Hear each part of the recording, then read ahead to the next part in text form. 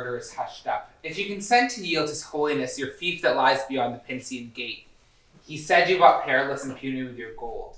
But the glory and the interest of the high throne he fills little consist with making it a daily martyr of guilt, as manifold and hideous as the deeds which you scarce hide from men's revolted eyes. The third of my possessions? Let it go. No doubt Pope Clement prays that I long enjoy strength, wealth, and pride, and lust, and length of days, wherein to act the deeds that are the stewards of their revenue. O Count Cenci, thou mightst honorably live, and reconcile thyself with thine own heart, and with thy God, and with the offended world. How hideously look deeds of lust and blood through these snow white and venerable hairs. Where is your wife? Where is your gentle daughter? Methink her sweet looks, which make all things else beauteous and glad, might kill the fiend within you. Why is she barred from all society, but her own strange and uncomplaining wrongs? Talk with me, Count. You know I mean you well. Charged with a thousand unrepented crimes, yet ever have I hoped you would amend, and in that hope have saved your life three times. All men delight in sensual luxury. All men enjoy revenge, and most exult in the tortures they can never feel, flattering their secret peace with the pain of others. But I delight in nothing else. And I have no remorse and little fear, which are, I think, the checks of other men. Art thou not most miserable? Why miserable? True, I was happier than I am. While yet manhood remained to act the thing I thought, while lust was sweeter than revenge. Now invention palls. We must all grow old, and but that there remains a deed to act whose horror might make sharp an appetite duller than mine, I do. I know not what. When I was young, I thought only of pleasure, and I fed on honey sweets, and I grew tired. Yet, till I killed a foe, and heard his groans, and heard his children's groans, knew I not what delight was else on earth, which now delights me little. I rarely kill the body, which preserves like a strong prison the soul within my power. Hell's most abandoned fiend did never, in the drunkenness of guilt, speak to his heart as now you speak to me. I thank my God I believe you not. My lord, a gentleman from Salamanca would speak with you. Bid him attend me in the grand saloon. Yes, my lord. Farewell, and I pray Almighty God that thy false, impious words tempt not his spirit to abandon thee.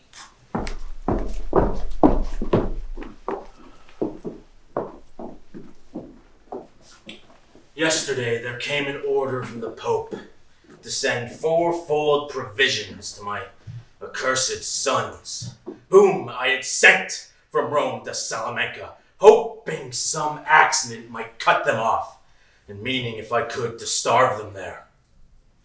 God, I pray thee, send some quick death upon them. Bernardo and my wife cannot be worse if dead and damned than as the Beatrice. I think they cannot hear me at that door. What if they should? O thou most silent air, that shalt not hear what now I think. O thou pavement, which I tread towards her chamber, let your echoes talk my imperious step, scorning surprise, but not of my intent. Andrea, My lord, bid Beatrice attend me in her chamber this evening. No! At midnight and alone.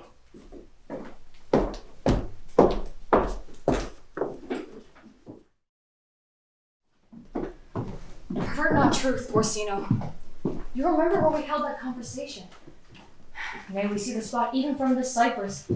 Two long years are past, since on an April midnight, underneath the moonlight ruins of Mount Palatine, I did confess to you my secret mind. You said you loved me then. You are a priest. Speak not to me of love. I may obtain the dispensation of the Pope to marry.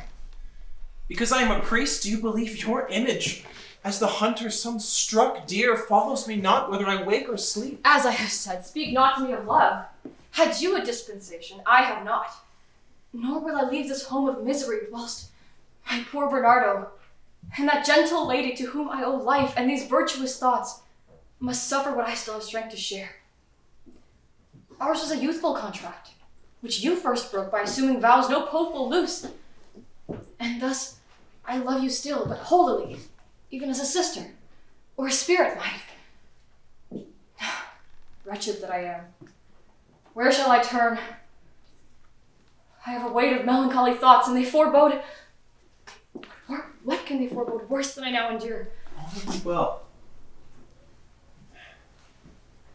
Doubt not my zeal for all you wish, sweet Beatrice.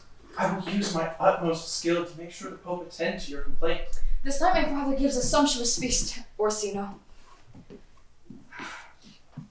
He has heard some happy news from Salamanca, from my brothers there. And with this outward show of love, he mocks his inward hate. Tis bold hypocrisy, for I know he would gladlier celebrate their deaths, which I have heard him pray for on his knees. And all our kin, the Cenci, will be there, and all the chief nobility of Rome. And he has bidden me and my pale mother attire ourselves in festival array. Poor lady. She expects some happy change in his dark spirit from this act. I none. At supper, I will give you the petition. Till then, farewell. Farewell. I know the Pope will never absolve me of my priestly vow, but by absolving me of a revenue, I will be see. Beatrice, I think to win thee at an easier rate. Nor shall he read her own competition. I should be the bar to all access. Now, as to what she suffers from her father, in this there is much exaggeration. Old men are testy, and will have their way. Wives and daughters call this foul tyranny. Yet, I fear her subtle mind, her awe inspiring gaze, whose beams anatomize me nerve by nerve and lay me bare and make me blush to see my hidden thoughts. no. A friendless girl who clings to me as to her only hope? I were a fool if she escaped me.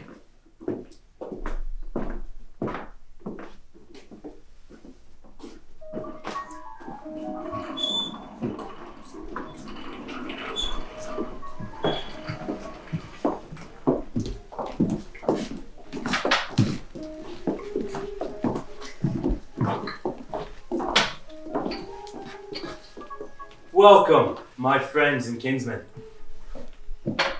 An evil word has gone abroad of me, but I do hope that you, my noble friends, when you've shared the entertainment here and heard the pious cause for which 'tis given, will think me flesh and blood as well as you.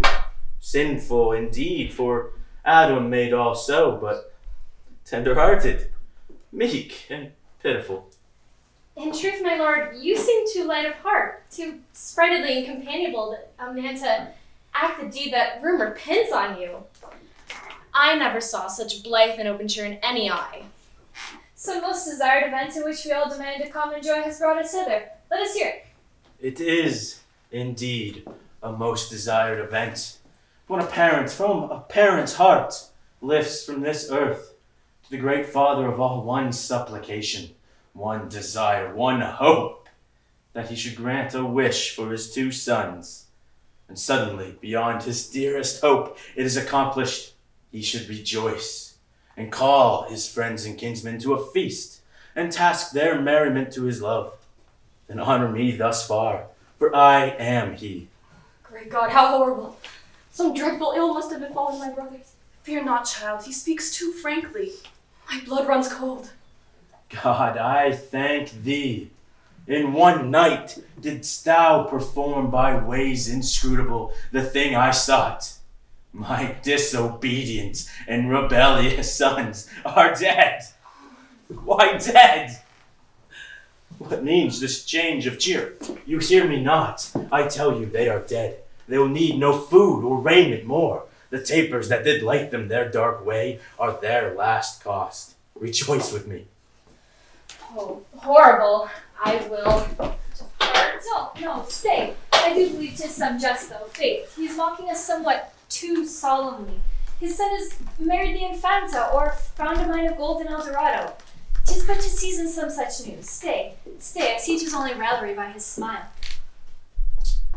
O thou bright wine, which leaps and bubbles gaily as my spirits do to hear the death of my accursed sons. Will none among this noble company check the abandoned villain? For God's sakes, you are insane. Let me dismiss the guests. Cease, silence him. I will. Who moves? Who speaks? Tis nothing. Enjoy yourselves. Beware, for my revenge is as the sealed commission of a king that kills, and none dare name the murderer. I do entreat you, go not, noble guests. Shall we therefore find no refuge in this merciless and wide world? Oh, think, I have borne much, and kissed the sacred hand which has crushed us to the earth, have excused much, doubted, and sought by patience, love, and tears to soften him, until I meet you here, princes and kinsmen. At this hideous feast given at my brother's, at my brother's death. Two yet remain, his wife remains, and I, whom if ye save not, he may soon share such merriment again as fathers make over their children's graves. O Prince Colonna, thou art our near kinsman. Cardinal, thou art the Pope's chamberlain. Camillo, thou art chief justiciary. Take us away. I do hope my noble friends will think of their own daughters or their own throats before they lend an ear to this insane girl. Dare no one look on me? None answer. Can one tyrant overbear the senses of many wisest men? Oh, that I were buried with my brothers. A bitter wish for one so young and gentle. Can we do nothing?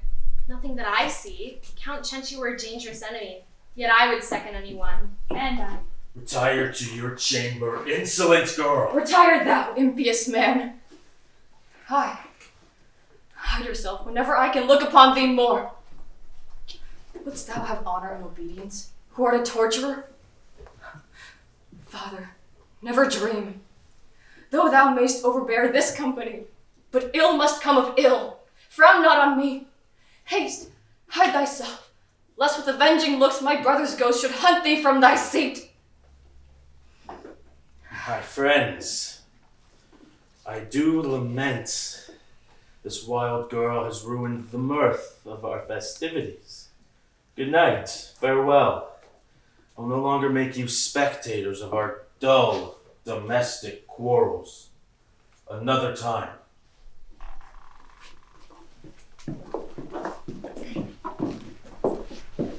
My brain is spinning round. Give me a bowl of wine. The painted viper! I know a charm shall make thee meek and tame.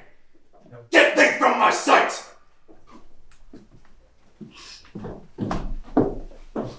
Here, Andrea, fill this goblet with Greek wine.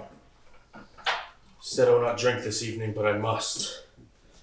Strange to say, I feel my spirits fail with what I've decreed to do.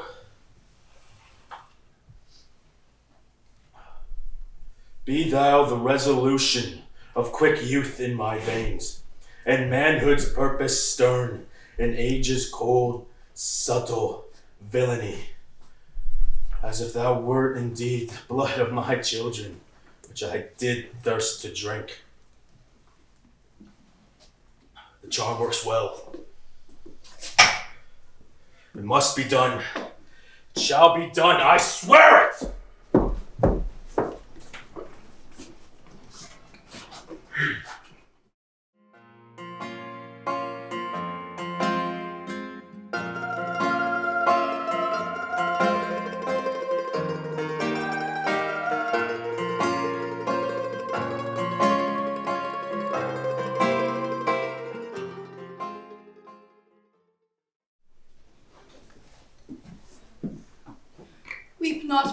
Gentle boy.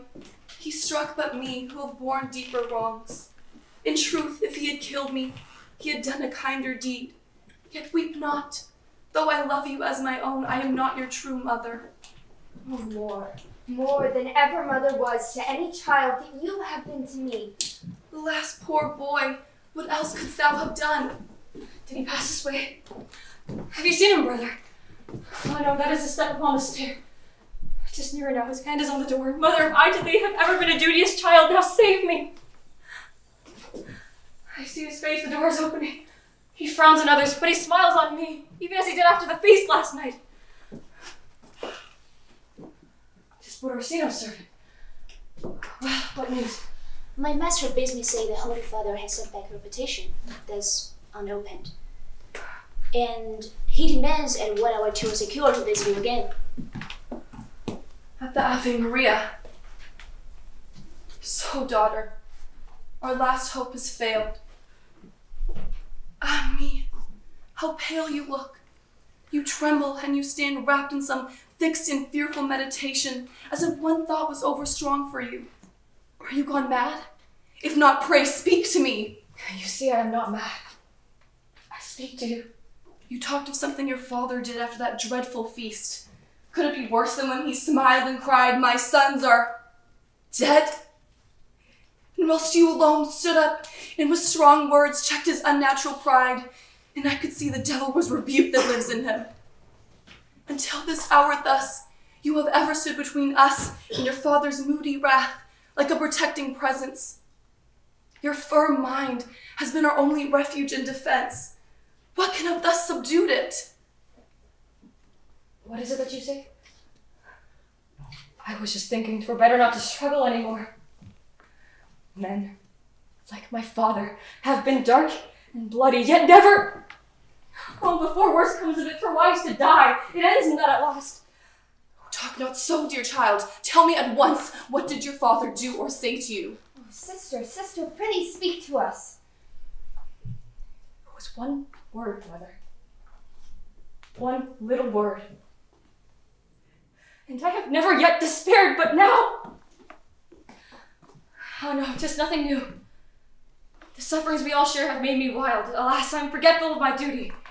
I should preserve my senses for your sake. Nay, Beatrice, have courage, my sweet girl. If anyone despairs, it should be I, who loved him once and now must live with him, till God in pity call for him or me. For you may, like your sister, find some husband and smile years hence with children round your knees, whilst I, then dead in all this hideous coil, shall be remembered only as a dream. Talk not to me, dear lady, of a husband. Did you not shield me in that dearest boy? And had we any other friend but you in infancy, with gentle words and looks, to win our father not to murder us? May the ghost of my dead mother plead against my soul if I abandon her who filled her place with more even than a mother's love. And I know my sister's mind. Indeed, I would not leave you in this wretchedness. Oh, never think that I would leave you, mother. My dear, dear children. What? Beatrice here. Come hither. Nay, hide not your face. Tis fair. Look up. Why, yesternights you dared to look with disobedient insolence upon me, bending a stern and inquiring brow on what I meant. Oh, that the earth would gape, hide me, O God! Stay, I command you.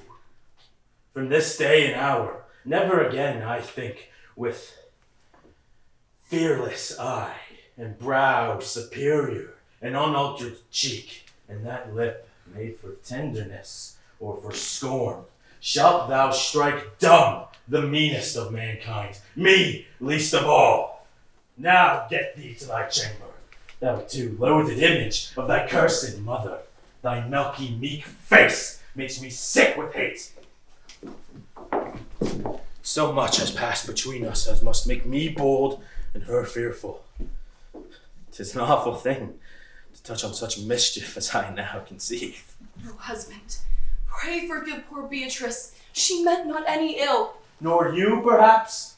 Nor that young imp whom we've taught by rote parricide with his alphabets? Nor Giacomo?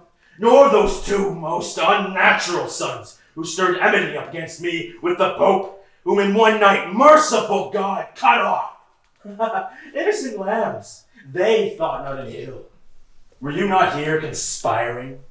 Did you not say I would be dungeoned as a madman, or condemned for some offense in which you would be the witnesses?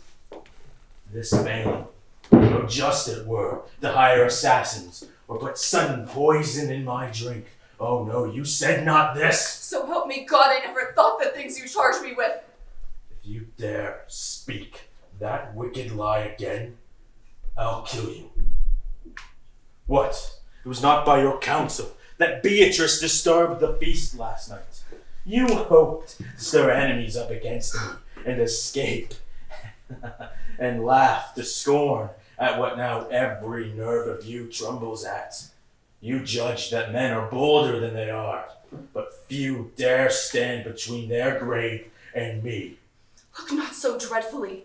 By my salvation, I knew not aught what Beatrice designed, nor do I think she designed anything until she heard you talk of her dead brothers. Blaspheming liar! You are damned for this. But I may take you where you may plead the stones you tread on to deliver you. Where there are men but none, those who dare all, not question which I command. On Wednesday next I shall set out. You know, that savage rook the castle Petrella. 'Tis safely walled and moated round about, its dungeons underground, and its thick towers never told tales. Why do you linger? Make speediest preparation for the journey.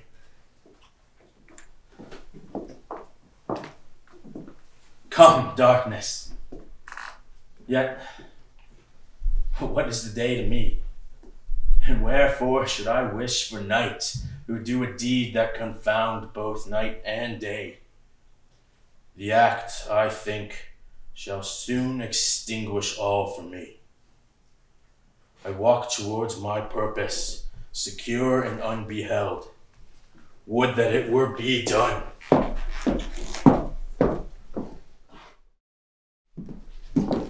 There is an obsolete and doubtful law by which you may obtain a bare provision of food and clothing.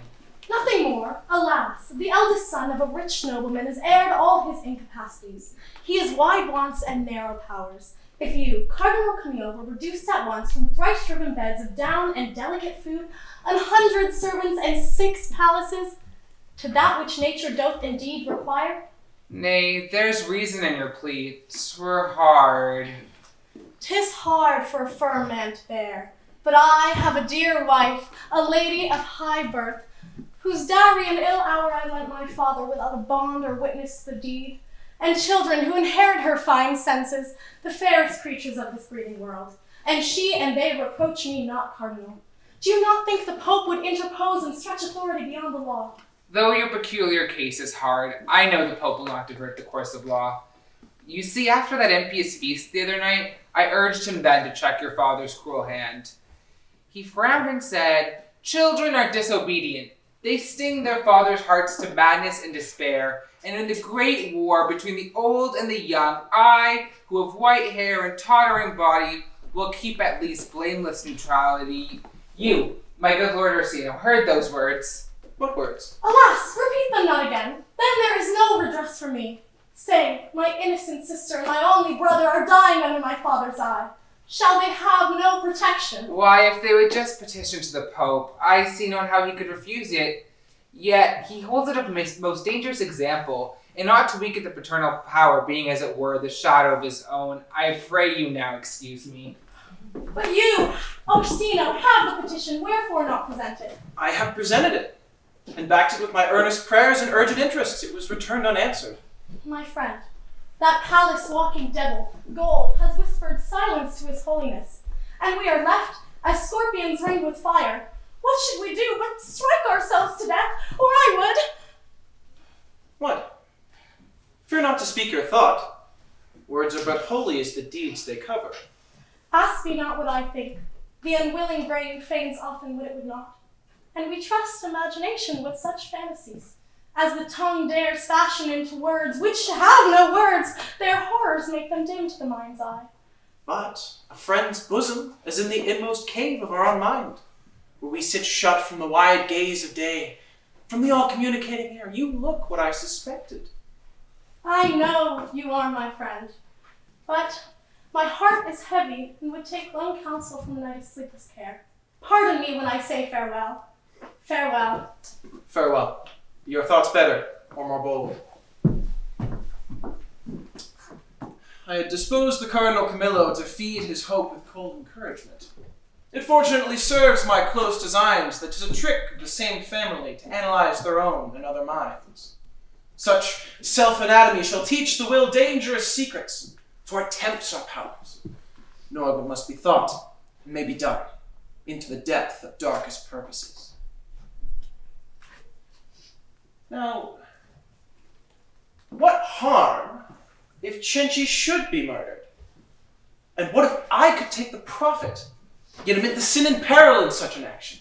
And while Cenci lives, his daughter's dowry were a secret grave if a priest wins her.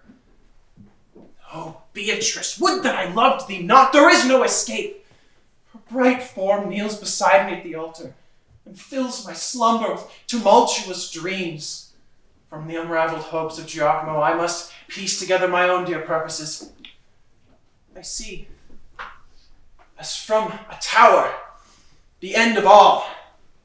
Her father dead, her brother bound to me by a dark secret, surer than the grave. Her mother scared and unexpostulating from the dread manner of her wish achieved, and she. Once more, take courage, my faint heart. What tears a friendless maiden matched with thee? I have such foresight as assures success. He prospers better, not who becomes an instrument of ill, but he who can flatter the dark spirit that makes its empire and its prey of other hearts, till it become his slave, as I will do.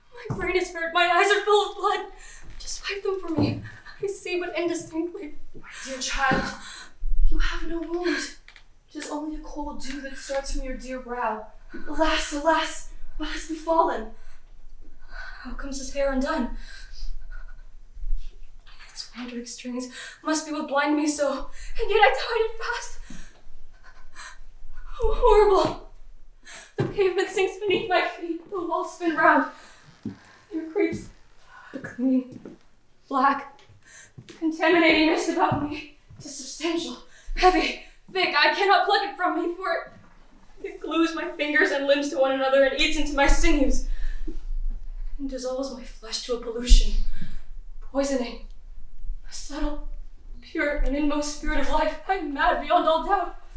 No, no, I am dead. These putrefying limbs shut round and sepulchre the panting soul which would burst forth into the wandering air. What hideous thought was that I had even now?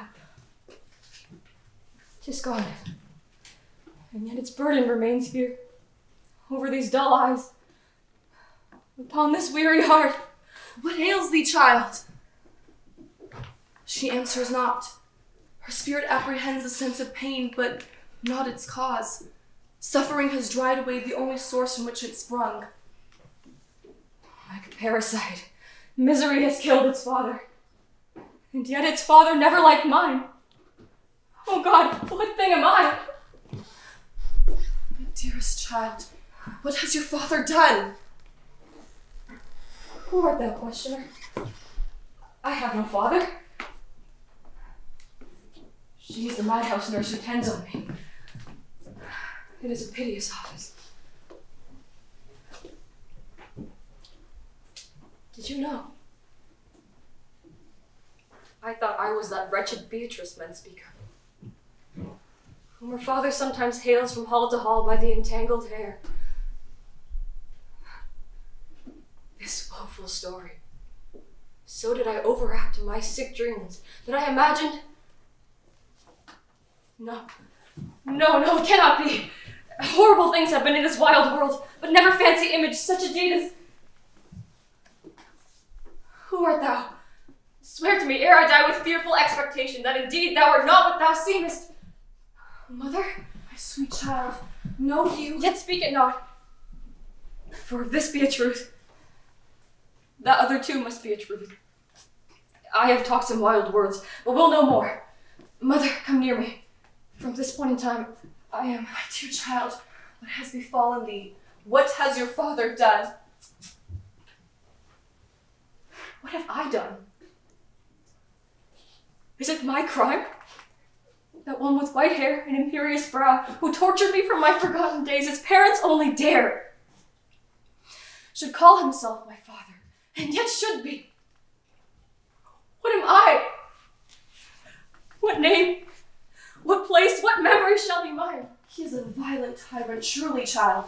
We know that death alone can make us free. His death or ours. But what can he have done of deadlier outrage or worse injury? Thou art unlike thyself. Speak to me. If I try to speak, I shall go mad. Aye, something must be done. What yet I know not. Something which shall make the thing which I have suffered but a shadow and the dread lightning which avenges it. When I know what, I shall be still and calm. But now, oh, blood which art my father's blood, circling through these contaminated veins. If thou poured forth upon this polluted earth could wash away the crime and punishment by which I suffer. No, it cannot be. It must indeed have been some bitter wrong. Yet what? I dare not guess. Oh, my lost child, I hide not in proud, impenetrable grief thy sufferings from my fear. I hide them not. What are the words that you would have me say? I, who can feign no image in my mind of that which has transformed me. I, whose thought is like a ghost, shrouded and folded up in its own formless horror, for there is none to tell my misery. If another ever knew aught like to it, she died, as I will die, and left it as I must without a name. Death! Death! Our law and our religion call thee a punishment and a reward. Oh, which have I deserved? The peace of innocence. For in your season you be called to heaven. Whatever you may have suffered, you have done no evil. Death must be the punishment of crime, or the word of trampling down the thorns in which God has strewn upon the path which leads to immortality. High death, the punishment of crime. I pray thee, God, let me not be bewildered while I judge. Self murder? No, that might be no escape. For thy decree yawns like a hell between our will and it. In this mortal world, there is no vindication and no law which can adjudge and execute the doom of that through which I suffer. Welcome, friend. I have to tell you that since we last met, I have endured a wrong so great and strange that neither life nor death will give me rest. How? Ask not what it is, for there are deeds which have no form, sufferings which have no tongue. What is he who has thus injured you? The man they call my father, a dread name. It cannot be. What it can be or not, forbear to think. It is and it has been. Advise me how it shall not be again. I thought to die, but a religious awe restrains me. And the dread, lest death itself might be no refuge. Oh, speak! Accuse him of the deed, and let the law avenge thee. Oh, ice-hearted counselor. If I could find a word that would make known the crime of my destroyer, I lay all bare so that my unpolluted fame should be by vilest gossips a stale-mouthed story, a mock, a byword, an astonishment. If this were done, which shall never be done, think of the offender's goal, his dreaded hate, and the strange horror of the accuser's tale, baffling belief, overpowering speech, scarce whispered, unimaginable, wrapped in hideous hints, oh, most assured redress. You will endure it then? Endure. Orsino, it seems your counsel is small profit. Aye. All must suddenly be resolved and done. What is this indistinguishable mist of thought which rises like shadow after shadow, darkening each other? Should the offender live? Triumph in his misdeed? And make by use his crime whate'er it is dreadful, no doubt. Thine element? Until thou mayest become utterly lost, subdued even to the hue of that which thou permittest? Mighty death, thou double visaged shadow, only judge, rightfulest arbiter. The lightning of God has ever descended. Blaspheme not! His high providence commits its glory on this earth, and their own wrongs into the hands of men.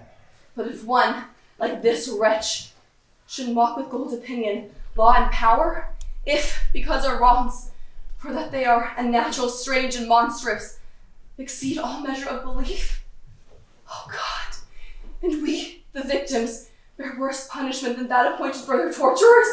Think not but that there is redress where there is wrong, so we be bold enough to seize it. How?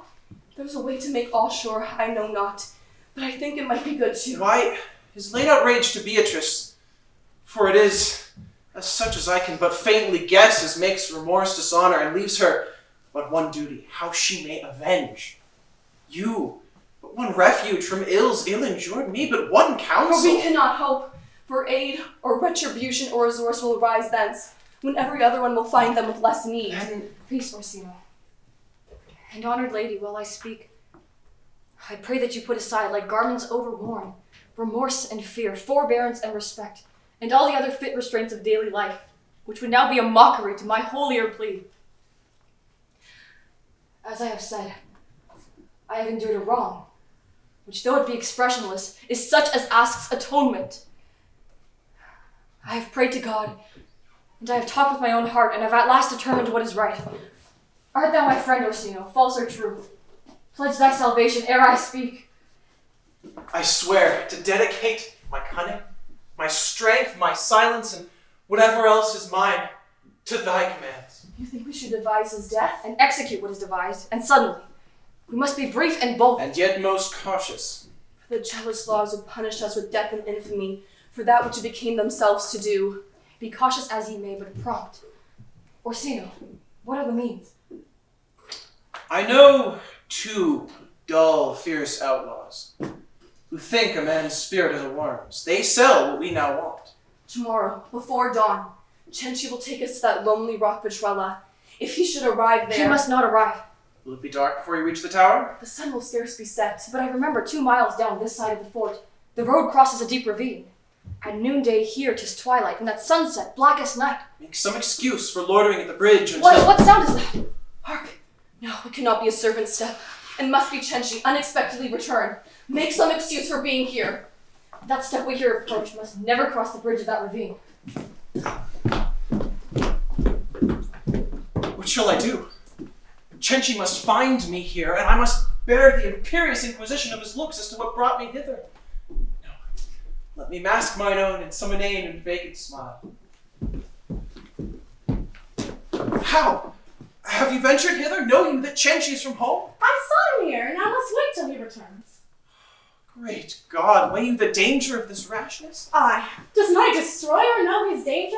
We are now as once no more, parent and child, but man to man, oppressor to the oppressed, slanderer to the slandered, foe to foe. He has cast nature off, and nature was his shield, and nature cast him off, and he is her shame. And I spurn both. Be calm, dear friend. Well, I will calmly tell you what he did. The old Francesco Cenci, as you know, borrowed the dowry of my wife from me, and then denied the loan, leaving me so in poverty. When he came to upbraid and curse, I spoke to him of my wife's dowry. He coined a brief yet specious tale how I had wasted the sum in secret right. And when I knew the impression he had made, and felt my wife insult with silent scorn, my advent truth a look averse and cold, my children cried, Father, give us better clothes, give us better food. What you in one night squandered was enough for months. And I looked and saw that home was hell, and to hell I return no more, until mine enemy has rendered up or atonement, has gave life to me, I will, reversing nature's Trust law. me, the compensation which thou seekest here will be denied. Then, are you not my friend? Did you not hint at the alternative the other day when we conversed? What you devise is, as it were, accomplished. Is he dead? His grave is ready. Know that since we last met, Cenci has done an outrage to his daughter. What outrage? That she speaks not, but you may conceive such half conjectures as I do from her fixed paleness, from the lofty grief of her stern brow bent on idle air, her severe, unmodulated voice. And last from this, that whilst her stepmother and I, bewildered in our horror, talked together, she interrupted us, and with a look which told before she spoke it, he must die. That is enough. My doubts are well appeased. There is a higher reason for the act than mine, there is a holier judge than me, a more unblamed avenger. Beatrice, my fair sister, is there made ravage of thee? O heart, I ask no more justification.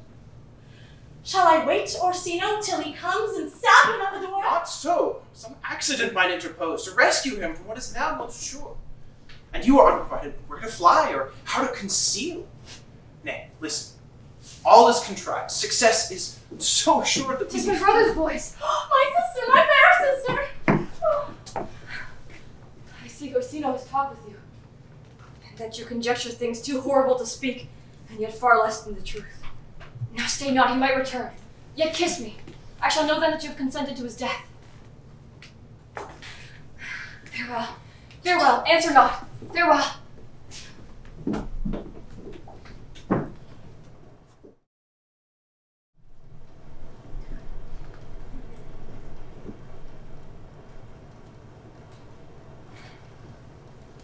Tis midnight, and Orsino comes not yet.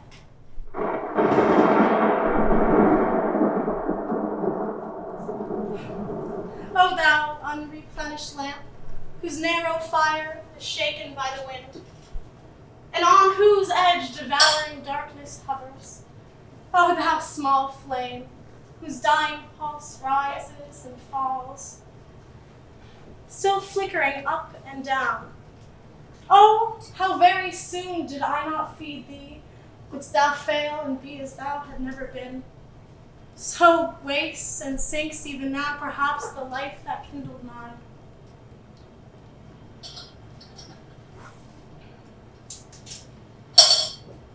It is the form that molded mine that sinks into the white and yellow spasms of death. One, two, the hours crawl on. I almost wish he be not dead. My wrongs are great yet.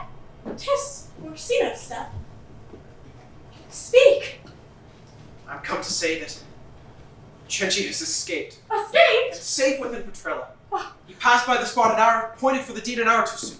Are we fools of such contingencies? And do we waste in blind misgivings thus the hours when we should act?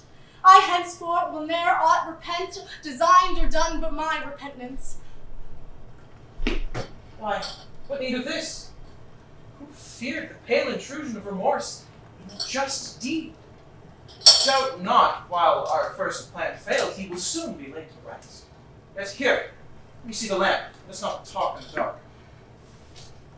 Well, once quenched, I cannot thus relume my father's life. Do you not think his ghost might plead that argument with God? Once gone, you cannot now recall your sister's lost peace, your own extinguished years of youth and hope, nor your wife's bitter words, nor your dead mother, nor your children's cries, nor those who mock you even now from ramparts broad as you come hither. Oh, speak no more. I am resolved. Listen. You know Olympio? The Castellan of Petrella, him whom your father degraded from his post? Marzio, that desperate wretch, whom your father deprived of a reward of blood well earned and due? I know of Olympio, and they say he hated my father, so that in his silent rage, his white, his lips grew white to see him pass. Of Marzio I know nothing. Marzio's hate matches Olympio's. I have sent these men, but in your name and as at your request, to talk with Beatrice and Lucretia. only to talk. The moments which pass even now, tomorrow's midnight hour, may memorize their flight of death. Ere then they must have talked, and may perhaps have done, and an end. Listen, what sound is that? The beams crack, not else. It is my wife complaining in her sleep. I doubt not she is saying bitter things of me, and my children round her dreaming, I deny them sustenance. Whilst he truly took it from them, and who fills their hungry rest with bitterness, now sleeps. If e'er he wakes again, I will not henceforth to hireling hands. Why, that were well. I must be gone. Good night. Will we next meet? May all be done. And all forgotten. Oh, that I had ever been.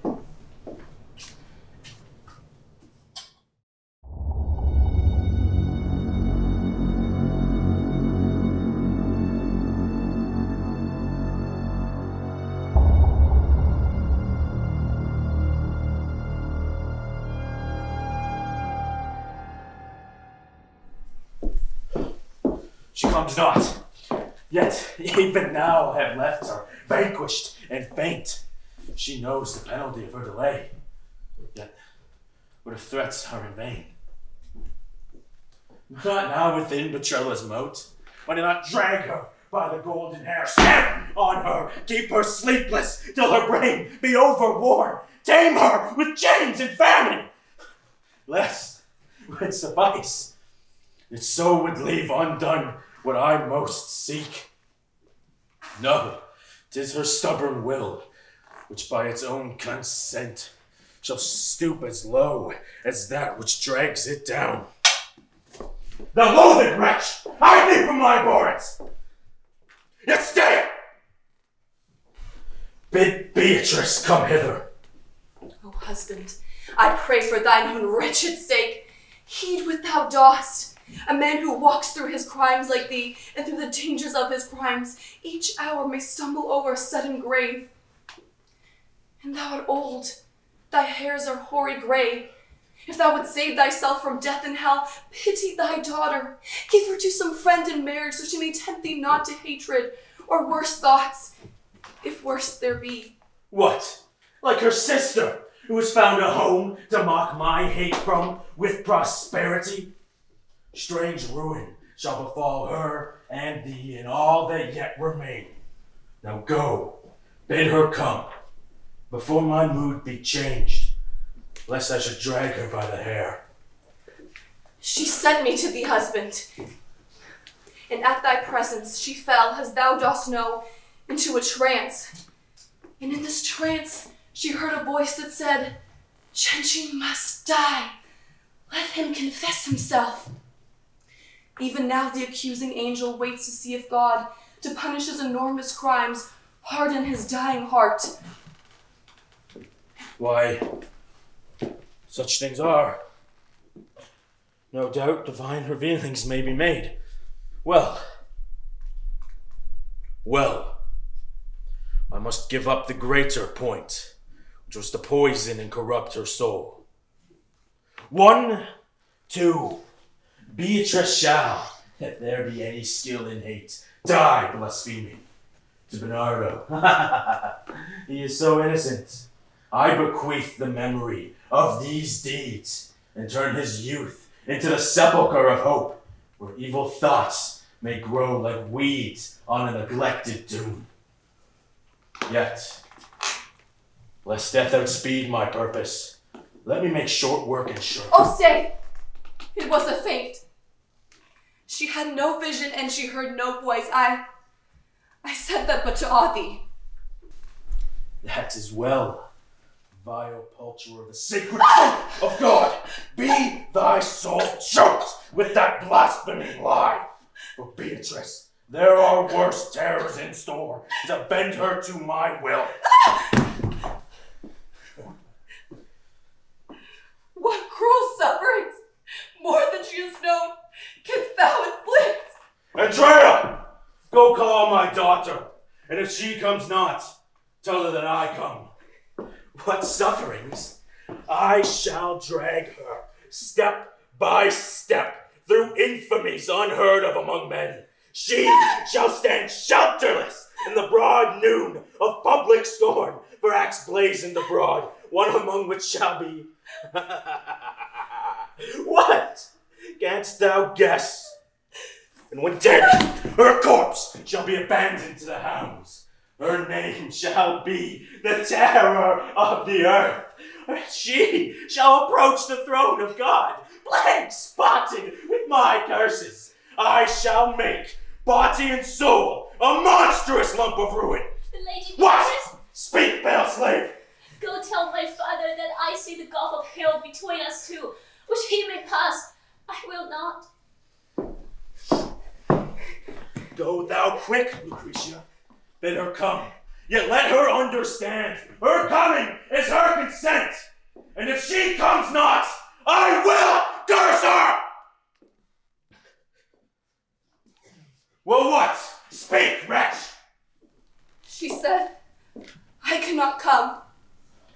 Go tell my father I see a torrent of his own blood raging between us. God, hear me.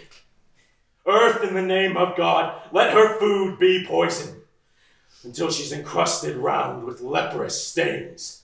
Parch up those love enkindled lips, warp those fine limbs to loathed lameness.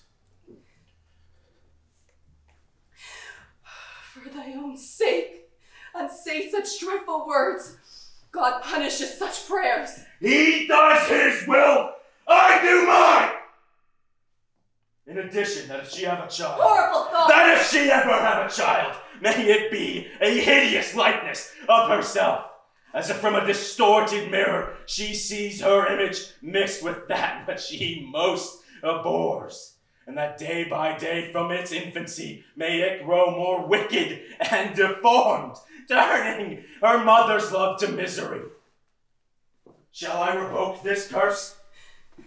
Then bid her come, before my words be chronicled in heaven.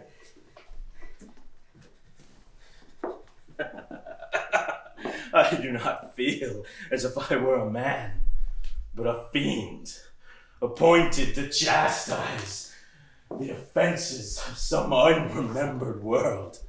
The blood runs up and down my veins, a fearful pleasure making it prick and tingle. Well, what? She bids thee curse, and as thy curses, as they cannot do, could kill her soul. She would not come. Tis well. I can do both. First, take what I demand, and then extort concession. To thy chamber. Fly ere I spurn thee. Tis safer to come between a tiger and his prey.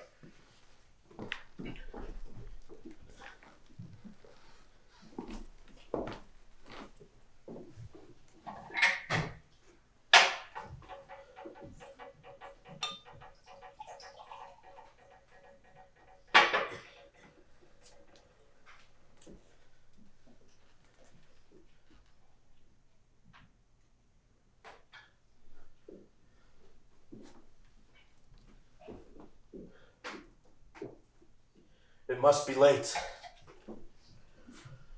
My eyes grow weary dim with unaccustomed heaviness of sleep.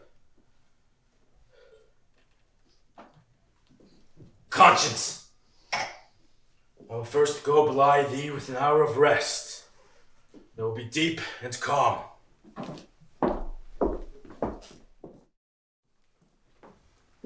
They come not yet. Tis scarce midnight. How slow legs, leaden footed time. Minutes pass. If he should wake before the deed is done. Oh, mother, he must never wake again. What thou hast said persuades me that our act will but dislodge a spirit of deep hell out of a human form. Tis true he spoke of death and judgment with strange confidence for one so wicked. And yet, to die without confession? Believe that heaven is merciful and just, and will not add our dread necessity to the amount of his offenses. See, they come. All mortal things must hasten thus to their dark end. Let us go down. How feel you to this work? As one who thinks a thousand crowns an excellent market price for an old murderer's life. Your cheeks are pale. Tis a pale reflection of your own which call you pale. Is that their natural hue? Or 'tis my hate, and the deferred desire to wreck it, which extinguishes their blood. You are inclined then to this business. If one should bribe me with a thousand crowns to kill the serpent that had stung my child, I could not be more willing. Noble ladies, Are you resolved? is he asleep? Is all quiet? I mixed an opiate with his drink. He sleeps so soundly. But ye are resolved. You know it is a high and holy deed. We're resolved. As child this task be warranted, it rests with you. Well, follow. Hush! Hark! What noise is that? Someone comes. Ye conscience-stricken cravens, wrought to rest your baby hearts. It is the iron gate, which you left open, swinging in the wind. Come, follow, and be your steps like mine, light, quick, and bold.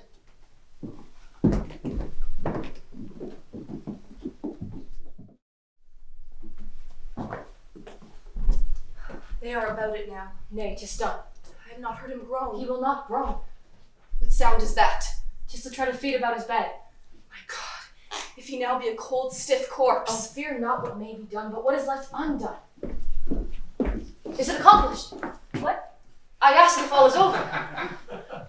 We dare not kill an old sleeping man. His thin gray hair, his stern and reverent brow, his veined hands crossed over his heaving breast, and the calm sleep in which he lay quelled me. Indeed, indeed, I cannot do it. But I was bolder, for I chewed Olympio, and bade him bear his wrongs to his own grave and leave me the reward. And so my knife slid upon that loose and wrinkled throat when he stirred in his sleep and spoke. And I knew it was the ghost of my dead father speaking through his lips, and I could not kill him. Miserable slaves! Where, if ye dare not kill a sleeping man, found ye the boldness to return to me with such a deed undone? Base palterers, cowards and traitors, why do I talk? Hadst thou a tongue to say she murdered her own father, I must do it! Stop, for God's sake. I will go back and kill him. Give me the weapon. Must do thy will. Take it! Depart! Return! Oh, how pale thou art! We do but that which were a deadly crime to leave undone. Oh, would it were done. Even as that doubt is passing through your mind, the world is conscious of a change. Darkness and hell have swallowed up the vapor they sent forth to blacken the sweet light of life. My breath comes, methinks, lighter, and my jellied blood runs freely through my veins. Hark! He is. Dead.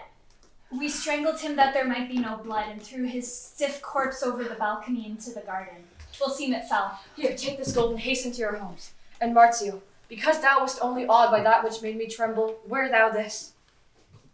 It was the mantle my great grandfather wore in his high prosperity. Li- thou wert a weapon in the hand of God to a just use. Live long and thrive. And mark, if thou hast any crime, repent. This deed is none. Hark! Tis the castle horn. My God, it sounds like the last trump. Some tedious guest is arriving. The drawbridge is let down. There's a tramp of horses in the court. Fly! Hide yourselves! Let us retire to counterfeit Christ. I hardly need to counterfeit it now. The spirit which doth reign within these limbs seems strangely undisturbed. All ill is surely past.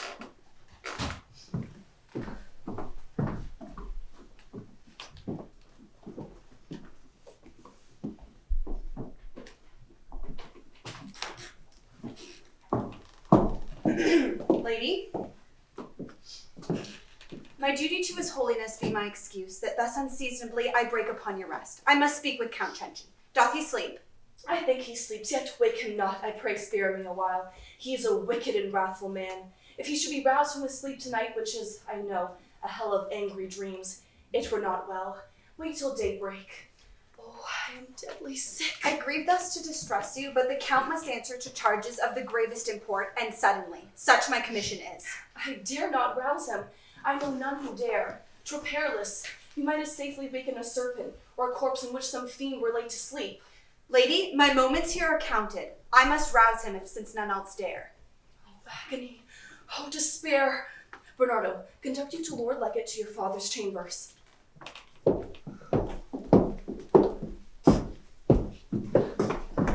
Messenger come to arrest the culprit.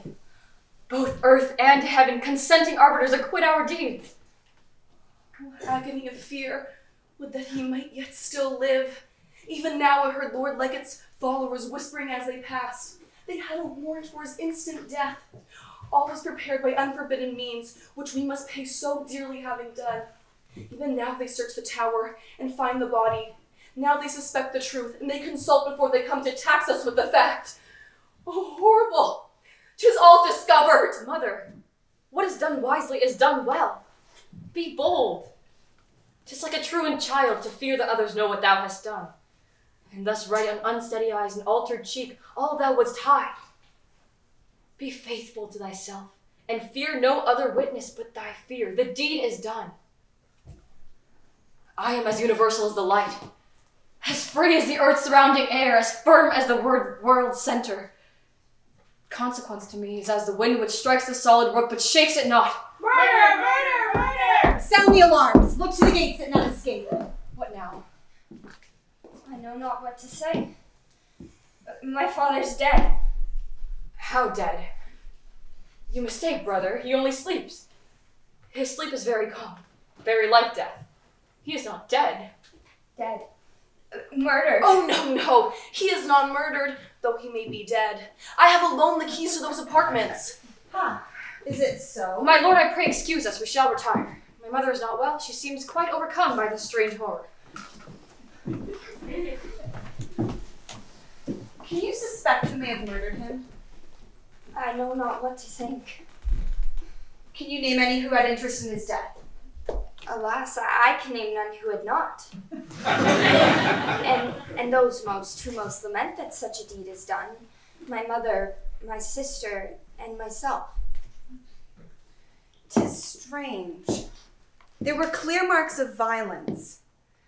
I found the old man's body in the moonlight, hanging beneath the window of his chamber in the branches of a pine. But he could not have fallen there, for his limbs lay heaped and effortless.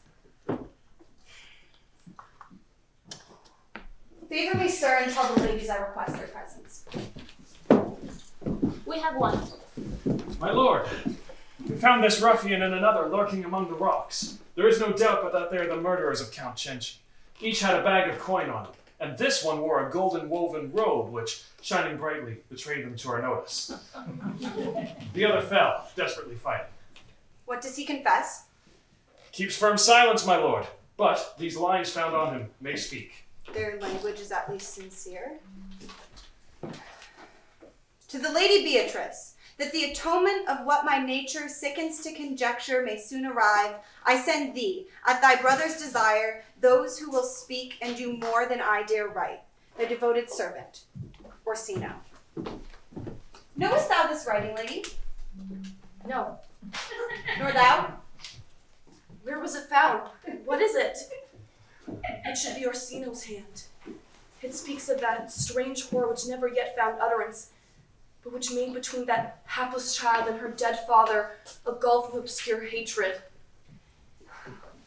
Is it true that thy father did such outrages as to awaken in thee unfilial hate? Not hate. 'Twas more than hate.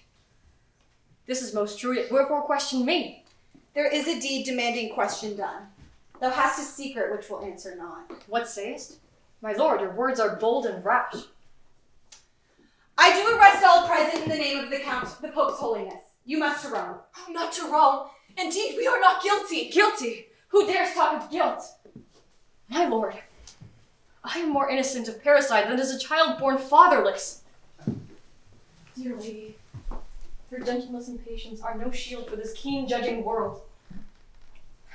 That wretch, who stands so pale and trembling and amazed, if it be true he murdered Cenci, was a sword in the right hand of justice God. Wherefore should I have wielded it? Do you own that you desired his death? Tis true. I did believe and hope and pray. I even knew, for God is wise and just, that some strange death hung over him. Tis true there was no other rest for me on earth, no other hope in heaven. Now what of this? Strange thoughts beget strange deeds. I judge thee not. And yet, if you arrest me, you are the judge and executioner of that which is the life of life. Tis most false I am guilty of foul parricide. Although I must rejoice, and for justice cause, that other hands have sent my father's soul to ask the mercy he denied to me. Now leave us free, stay not a noble house. I dare not, lady. I pray that you prepare yourselves for Rome. There the Pope's further pleasures will be known. Not to Rome. Take us not to Rome. Why not to Rome, dear lady? There as here, our innocence is as an armed heel, trampling accusation. Cheer up. Lean on me and collect your wandering thoughts. We shall be ready. Mother, will you come? They will bind us to the rack and wrest self accusation from our agony. Will Giacomo be there? Orsino? Marzio?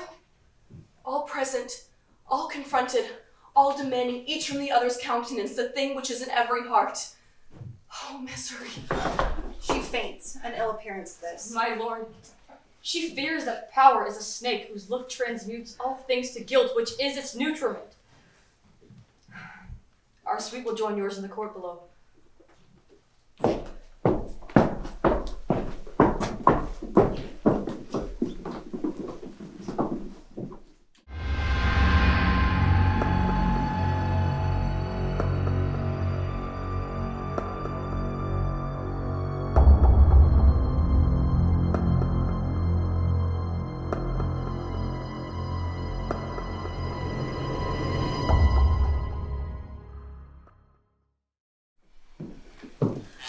Deeds thus quickly come to an end? Alas, alas, it was a wicked thought, a piteous deed to kill an old and hoary-headed father, It has turned out, unluckily, in truth.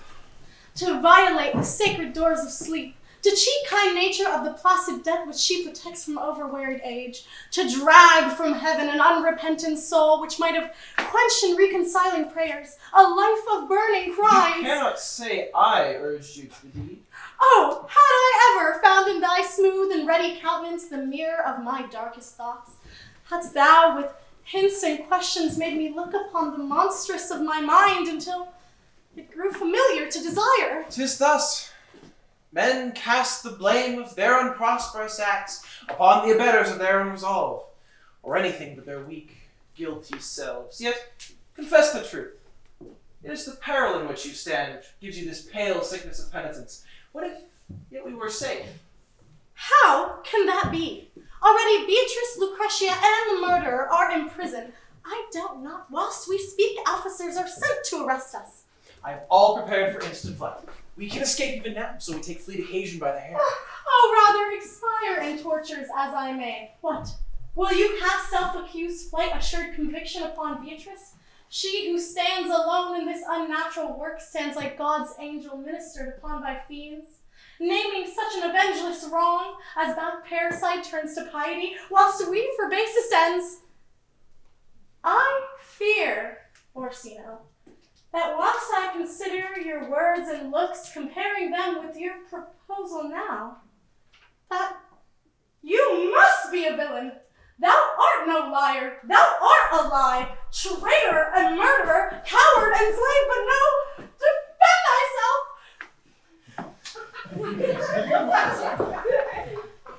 Put up your weapon.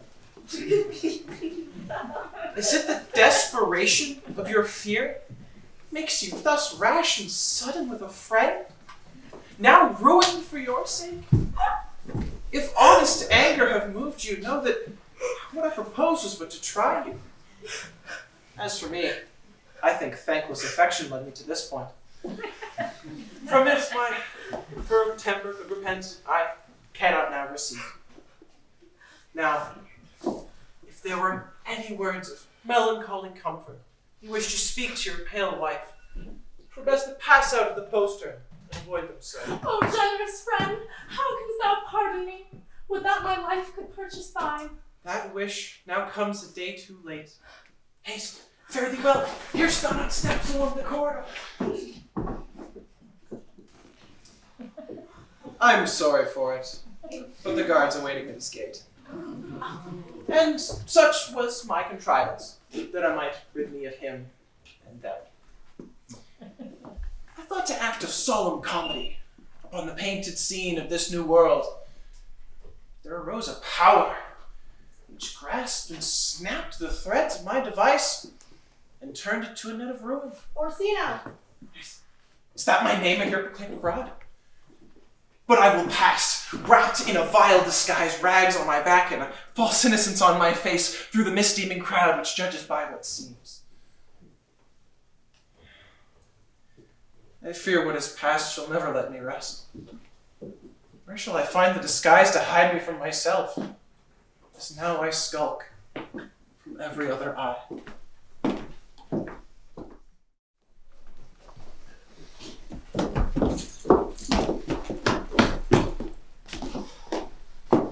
Accused. Do you persist in your denial? I demand who are the participators in your offense. Speak the truth, the whole truth. My God, I did not kill him. I know nothing. Olympio sold the robe to me from which you'd infer my guilt. Dare you, with lips yet white from the rack's kiss, speak false? Is it so soft a questioner that you would bandy lovers talk with it till it wind away your life and soul? Oh, away. Oh, spare me, spare. I will confess. Then speak. I strangled him in his sleep. Who urged you to it? His own son Giacomo and the young prelate Orsino sent me to Petrella. There the ladies Beatrice and Lucretia tempted me with a thousand crowns, and I and my companion forthwith murdered him. Now let me die. This sounds as bad as truth. Guards, bring in the other prisoners. Here, look upon this man. When did you see him last? We never saw him. You know me too well, Lady Beatrice. I know thee. How? Where? When? You know 'twas I whom you did urge with menaces and bribes to kill your father. When the deed was done, you clothed me in a robe of woven gold and bade me thrive. How I have thriven, you see. You, my lord Giacomo, Lady Lucretia, you know what I speak is truth. Oh, turn those eyes away from me, they burn. That stern yet piteous look wounds worse than torture. My lords, take me, take me away. Poor wretch, I pity thee, yet stay a while. Guards, lead him near the Lady Beatrice. See, he shrinks from her. Cardinal Camillo, thou hast a good repute for gentleness and wisdom. Can it be that you sit here to countenance a wicked farce like this? When some obscure and trembling slave is dragged from tortures which might shake the sternest heart, and bade to answer not as he believes, but as those may suspect or do desire, whose questions then suggest their own reply, and that in the peril of such hideous tortures that merciful God spares even the damned. Speak now the thing you surely know, which is that you, if your fine frame were stretched upon that wheel, and you were told, confess that you did poison your little nephew, that fair blue eyed child, who was the lodestar of your life, yet you would say, I confess to anything, and beg from your tormentors, like that slave, the refuge of dishonorable death. I pray thee, Cardinal, that thou assert my innocence. What shall we think, my lords? Shame on these tears. I pledge my soul that she is guiltless. And yet she must be tortured. I would as soon torture mine own nephew. She is as pure as speechless infancy. Well, be her purity on your head, my lord, if you forbid the rack. His holiness has enjoined us to pursue this crime by the severest forms of punishment, nay, even to stretch a point against the criminals. Now, the prisoners stand accused of parricide, upon such evidence as justifies torture. What evidence? This man's? Even so, Come near. And who art thou, thus chosen forth among the multitude of living men to kill the innocent? I am Marzio, thy father's vassal. Fix thine eyes on mine. Answer to what I ask. He dares not look the thing he speaks, but bends his gaze on the blind earth. What? Wilt thou say that I did murder my own father? Oh, spare me, speak to me no more. Those. This, oh, take me away, let her not look on me. I am a guilty, miserable wretch. I have said all I know, now let me die. My lords, if by my nature I have been so stirred as to have planned the crime alleged, which your suspicions dictate, dictate to this man, and which the rock makes him utter, do you think I should have left this two edged instrument of my misdeed? This man, this bloody knife with my own name engraven on the heft, left unsheathed for my own death? What is his poor life? What are a thousand lives? A parricide had trampled them like dust. And see, he lives. And thou, Oh, spare! That stern yet piteous look wounds worse than torture. My lords, having said this, let me be led to death. Guards, lead him not away. Thou who tremblest on the giddy verge of life and death, pause ere thou answerest me. Rush not before thy judge, and say, My Maker, I have done this and more. For there was one who was most pure and innocent on earth, and because she endured what never any guilty or innocent endured before, because her wrongs could not be told, nor thought, and because thy hand at length did rescue her, I with my words killed her and all her kin. Think of what it is to blot with blood and infamy all that shows like innocence, and is, hear me, great God, I swear most innocent. Am I or am I not a parricide? Thou art not. Whoa. What is this? My lord, I here declare that those whom I did accuse are innocent. Tis I alone am guilty. Ah. Take him away to torments, and bind him not till he confess. Torture me as you will, a keener pang has wrung a higher truth from my last breath. She is most innocent. Bloodhounds not men, gut yourselves well with me. I will not give you that fine piece of nature to rend and ruin. What say ye now, my lord? Let the torture strain the truth till it be white as snow thrice sifted by the frozen wind. Yet stained with blood. Know you this paper, lady? Entrap me not with questions. Who stands here as my accuser? Here is Orsino's name. Where is Orsino? Let his eye meet mine. What means this scrawl? Alas, ye know not what. And thus, on the chance that it might be some evil, will ye kill us?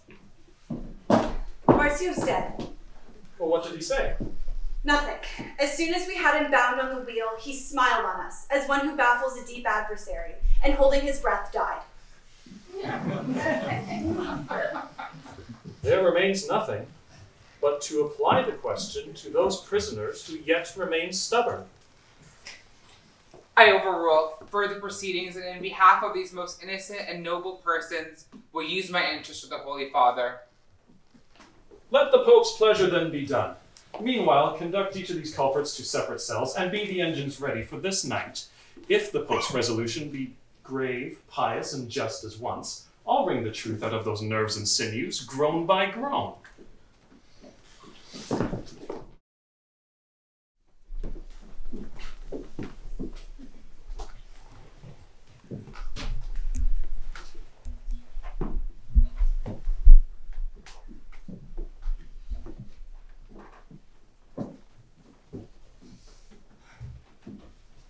How gently slumber rests upon her face, like the last thoughts of some day sweetly spent, holding in nights and dreams and so prolonged. After such torments she bore last night, how how light and soft her breathing comes. Ay me, methinks I shall never sleep again. But I must shake the heavenly dew of rest from this sweet folded flower. Thus, wake, awake. What, sister, canst thou sleep? I was just dreaming that we were all in paradise. This cell seems like a kind of paradise after our father's presence. Dear, dear sister, would that thy dream were not a dream. Oh God, how shall I tell? What wouldst thou tell, sweet brother? Look not so calm and happy whilst I stand considering what I have to say. My heart will break. See now thou makest me weep. How very friendless thou would be, dear child, if I were dead. Say what thou hast to say. They have confessed. They could endure no more the tortures. What was there to confess?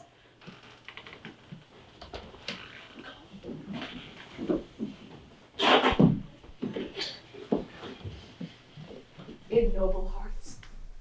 For some brief spasms of pain, which are at least as mortal as the limbs through which they pass, are centuries of high splendor laid in dust.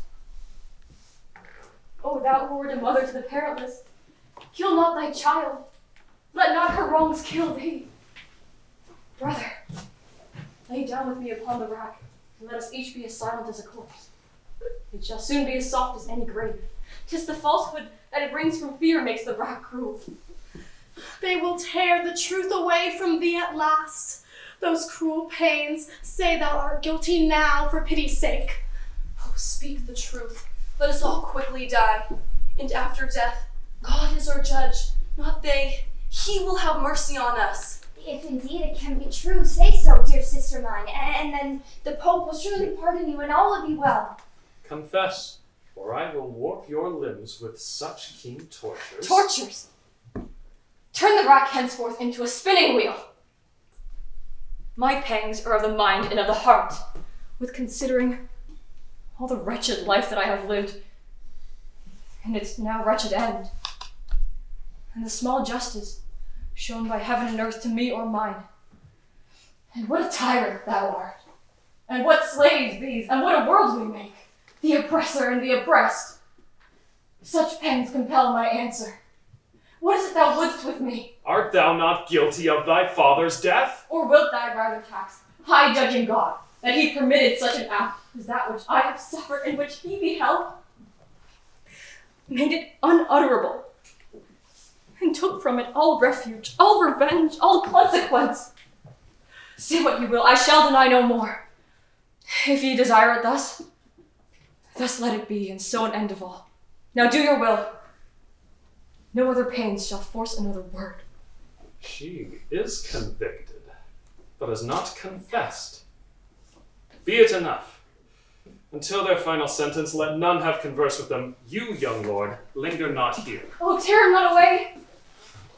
Oh, guard, I will do my duty. Would ye divide body from soul? That is the headsman's business.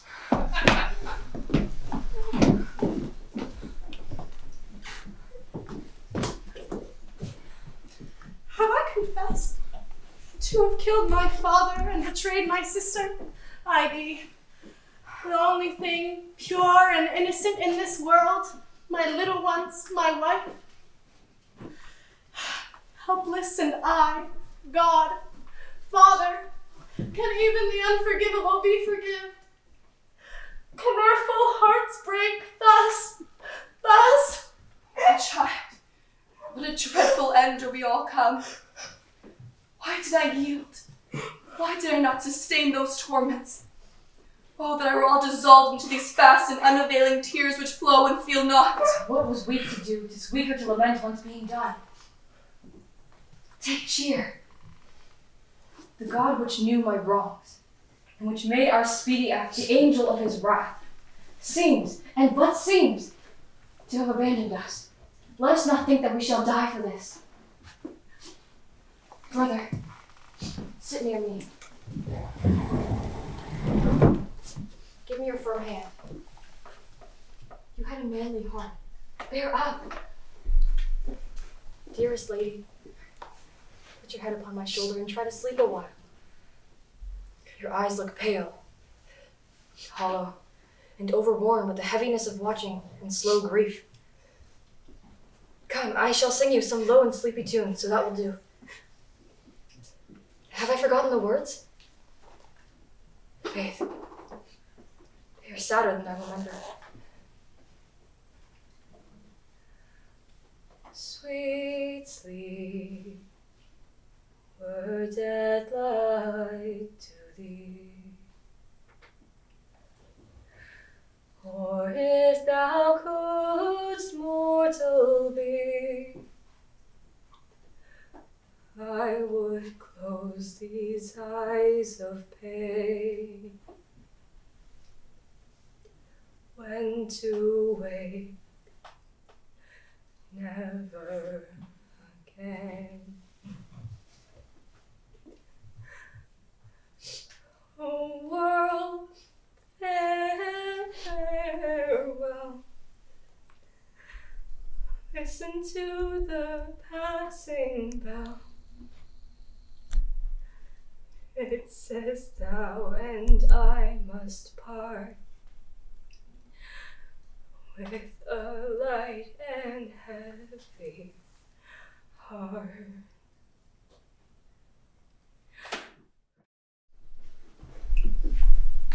The Pope is stern, not to be moved or bent.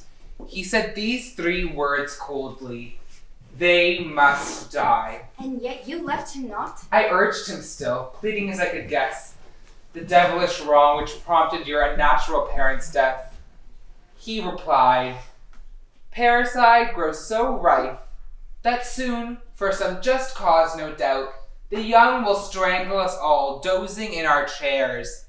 Authority and power and hoary hair are grown crime's capital.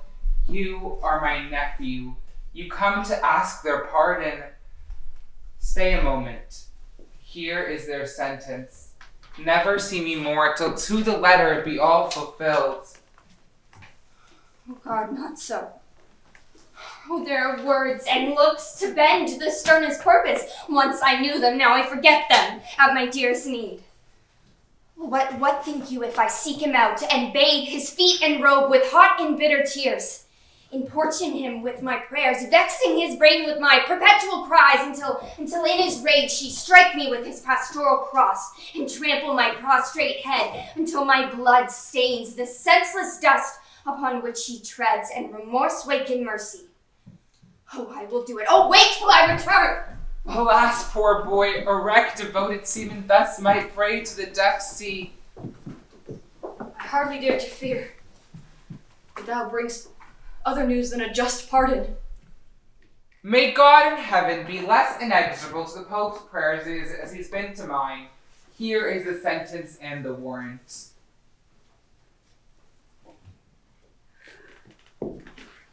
Oh my god.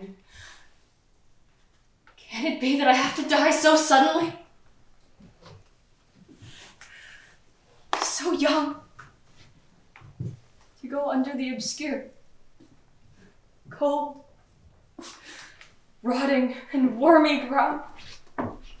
How fearful to be nothing. Or to be. What? Oh, let me not go mad. Sweet heaven, forgive weak thoughts. If there should be no God, no heaven, no earth in this void world.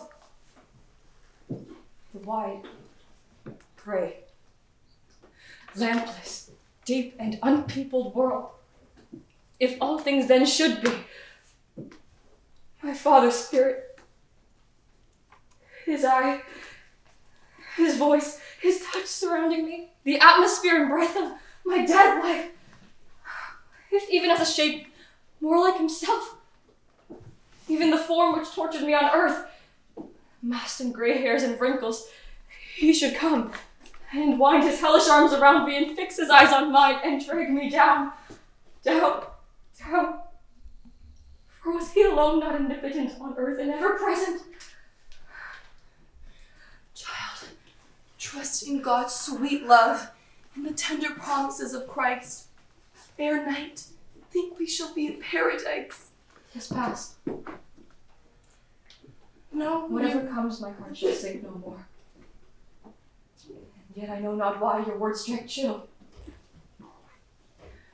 How tedious, cold, and false seem all things. I have met with much injustice in this world. No difference has been made by God or man, or any other power molding my wretched lot, whether good or evil, has regarded me. I am cut off from all I know. From light and life and love and youth's sweet prime. You do well telling me to trust in God, and whom else can any other trust? And yet, my heart is cold. Know you not, mother. Sister, know you not. Bernardo even now has gone to implore the judge to grant our pardon. Child, perhaps it shall be granted. Then we may live to make these woes a tale for distant ears. Oh, what a thought! It gushes to my heart like warm blood. And yet both will soon be cold. Oh, trample out that thought. Worse than despair, worse than the bitterness of death is hope. It is the only ill which can find place in the giddy, sharp, and narrow hour tottering beneath us. Oh, plead with famine, with wind walking pestilence, the blind lightning or the deaf sea, not with man. Cruel, cold and formal man, righteous in words, in deeds a king. No, mother, we must die. For such is the reward of innocent lives. Come, obscure death, and wind me in thine all embracing arms. Like a fond mother, hide me in thy bosom, and rock me to the sleep from which none wake. Oh, that tears, that looks, that hope poured forth in prayer should all be in vain. The ministers of death are waiting round the doors. I thought I saw blood on the face of one. What if it were fancy? Soon, the heart's blood of all I love on earth will sprinkle him, and he will wipe it off as if it were only rain. Oh God, oh world, cover me, let, let me be no more. To see that perfect mirror of pure innocence wherein I gazed and grew happy and good, shivered to dust. To see thee, Beatrice, who made all lovely thou didst look upon, the light of life, dead, dark. And thou, mother, whose love was a bond to all our loves, dead, the sweet bond broken. Let me kiss that warm cheek before the crimson leaves are blighted white and cold. Say farewell before death chokes that gentle voice of yours. Let me hear you speak. Farewell, my tender brother. That mild, pitying thoughts lighten for thee thy sorrow's load. One thing more, my child. For thine own sake, stay constant to the love thou bearest us, and the faith that I, though wrapped in a strange cloud of guilt and shame, lived ever holy and unstained. And though ill tongues shall wound me, and our common name be as a mark stamped upon thine innocent brow for men to point at as they pass, do thou forbear. Never think a thought unkind of those who perhaps love you in their graves. Farewell. I cannot say farewell. Oh, Lady Beatrice. Give yourself no unnecessary pain, my dear Lord Cardinal. Brother, tie up my girdle for me. Bind up this hair in any simple knot. Aye, that does well. And yours, I see, is coming down. How often have we done this for one another? Now we shall not do it anymore. My lord, we are quite ready. Well,